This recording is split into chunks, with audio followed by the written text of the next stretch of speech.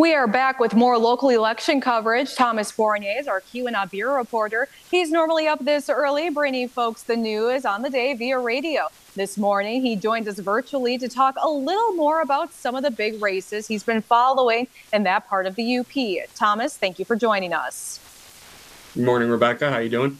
I'm doing great, thank you. Last hour, we talked about the Houghton Portage Township Schools bond millage. This has been an ongoing conversation since last year. This one passed by a margin of just 30 votes. The millage passed by a vote of 1,820 to 1,790. Thomas, remind folks what happens now that the proposal has passed. So the millage is going to fund technology and security upgrades for the district as well as add some space over at the elementary level with a um, pre-K uh, facility. Um, over the last 10 years, HPTS has grown by 101 students, uh, with 30 to 40% of students coming from outside of the district. Uh, and this millage will levy $23 million and extend that rates out until 2031. Let's now turn to the 110th district. Incumbent Greg Markkanen retains his seat. He tallied 11,700 votes to the 7,201 received by challenger Kim Corcoran. What can you tell us about that race? So, uh, Representative Markkanen was first elected in 2018. Like you said, he earned 11,700 votes. Uh, Keweenaw and Ontonagon County voters uh, gave him an uh, 3,497 of those votes.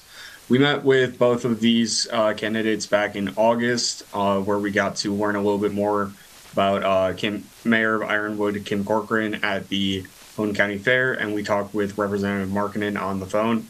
Um, both campaigned in our area on the um, issues that are impacting the conditions at the prisons, uh, especially how it's impacting workers there and they both spoke with the uh, League of Women Voters at community forums in Houghton, Portage Townships, and down in Gogebic County at the end of September and start of October. We also saw Sheriff Josh Saarinen retain his position. Any other races of note you wanted to go over before we let you go? Uh, yeah, there's a few things going on out here in, in Houghton County and the rest of the western area. Uh, Joel Keranen was able to defeat uh, Casey Verberkmos in the District 2 spot for Houghton County's Commission. Uh, he'll rejoin Glenn Anderson, Roy Britz, Gretchen Jansen, and Tom Tikkanen, who all ran unopposed. Uh, Ontonagon County's 5th District chose Ron Storr, uh, and he defeated Marlene Bromey with 62% of that vote. And then in Keweenaw County, Donald, uh, Donald Pish will uh, retain his seats, defeating AJ Kern with 213 to 140. Excellent. And Thomas, we always appreciate everything that you do for us and our viewers to keep them informed about what's going on in the copper country. What else are you working on this week for our viewers? So tomorrow I'll be heading down to L'Anse and the Meadowbrook Arena. They have some upgrades that just got put in down there, and open skating is going to be starting up soon, so that's exciting. Uh, and today we'll have a piece for the Keweenaw Co-op and their grand opening that will be on Saturday um, with 97 The Wolf, our one of our radio stations out here will be doing a remote show for their grand opening. And as you mentioned, the radio, how can people tune into you on the radio to hear all the news that you have going on?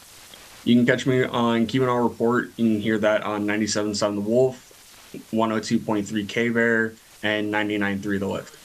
Excellent. Thank you, Thomas. And we will have all of those updates from the Copper Country as well on myupnow.com. Just go on the homepage, find the little hamburger with the drop down menu that has the election results, and you can find that all there. Thomas, again, thank you so much for providing coverage from the Keweenaw.